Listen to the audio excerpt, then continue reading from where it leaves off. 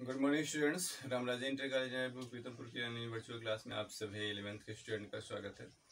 देखिए स्टूडेंट्स आज हम डिस्कस करने वाले हैं कोशिकांगों पे। इससे पहले हमने बताया था कि एक कोशिका के अंदर कौन कौन से कोशिकांग पाए जाते हैं। साथ ही साथ हमने सेल वाल पे डिस्कस भी किया था और आज हम डिस्कस करने वाले हैं सेल मेम्ब्रेन पे।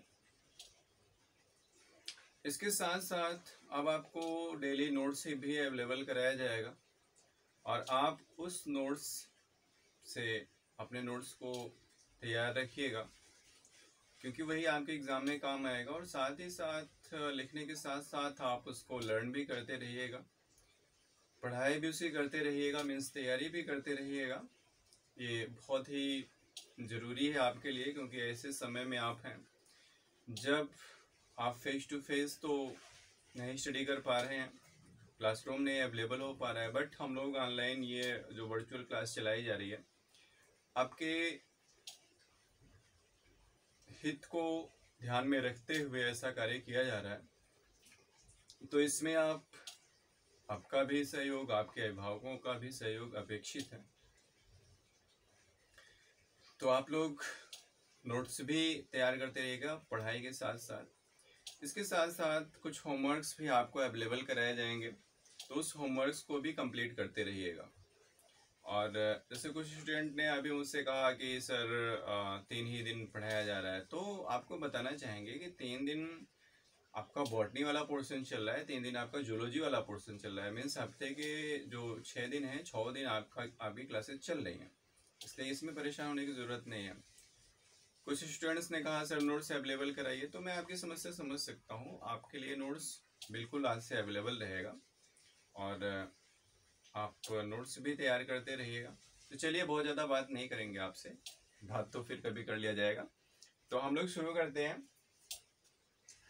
आ, सेल ऑर्गेनल्स की बात चल रही थी। इसमें हम लोग सेल आ, सेल मेम्ब्रेन की बात करने वाले हैं। तो चलिए देखते हैं सेल मेम्ब्रेन होता क्या है? सबसे पहले तो हम सेल मेम्ब्रेन के बारे में जानने की कोशिश करते हैं। इसके बाद फिर और आगे हम बढ़ेंगे। ये जो स्ट्रक्चर आप देख रहे हैं, ये कुछ मॉडल दिए गए हैं सेल मेम्ब्रेन के, उसके बारे में हम स्टडी करेंगे। लेकिन उससे पहले सेल मेम्ब्रेन होता क्या है, उसको हम जान लेते हैं। तो देखिए जो सेल मेम्ब्रेन होता है यह सभी कोशिकाओं में सेल मेम्ब्रेन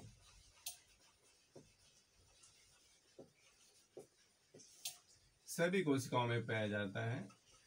यह सभी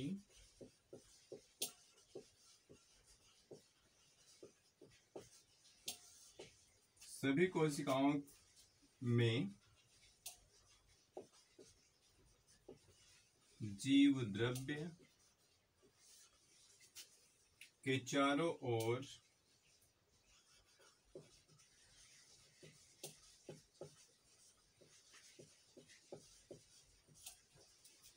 विभेदी पारगम्य।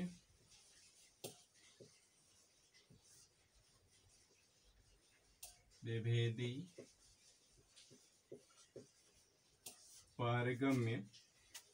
विद्युत आवेशित।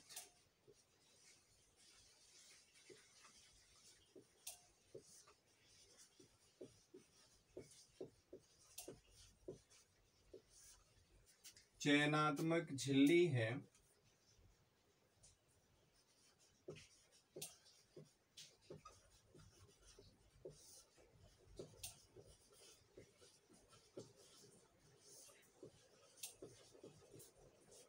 जो मुख्यतः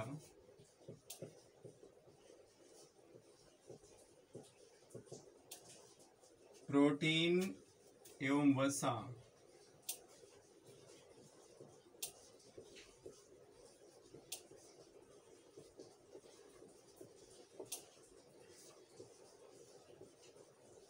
से बनी होती है।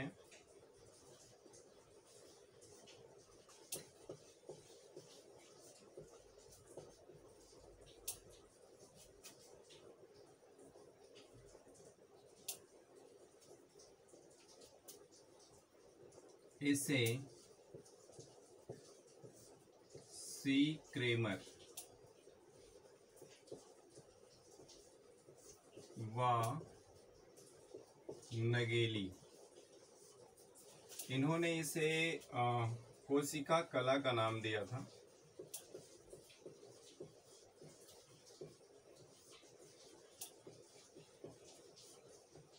और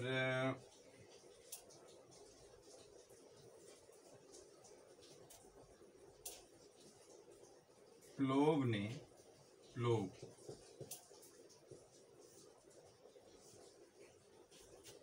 जीव द्रव्य कला कहा था।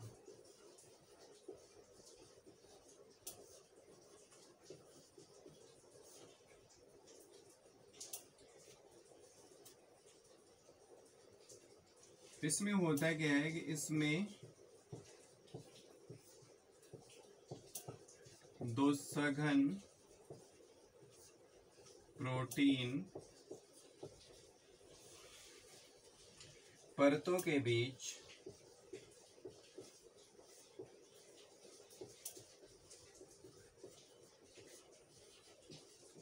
वसा का स्तर पाया जाता है।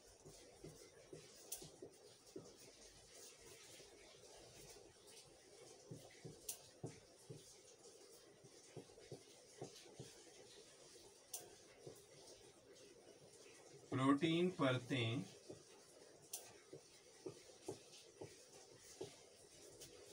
बीस से पच्चीस एंगस्ट्रॉम मोटी होती हैं।